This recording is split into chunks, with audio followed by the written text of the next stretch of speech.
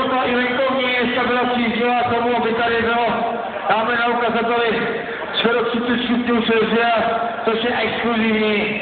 To je jak létě na festivalu. Doufám, že se, že se vydržíte nějakou chvíli.